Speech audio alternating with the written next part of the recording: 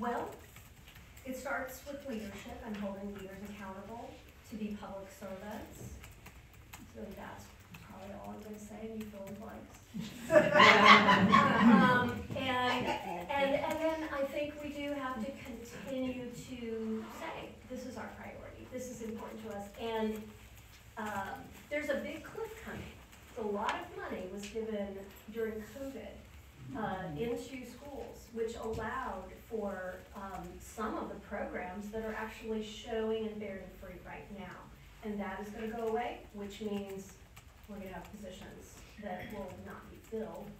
And we already have a shortage, you know, of people, so there may be some moving around. Um, but the need that those programs provided won't be funded unless the state steps in and makes an appropriation to do that. So that would be my message, is that you talk about let's sustain and build the support for students and make sure they know that. Because other people are calling that have a different view. Other people are filling in the void if your voice isn't there. That say, give our money to private school. And, um, private school doesn't have the accountability that public schools do, and they, um, get to select who they teach.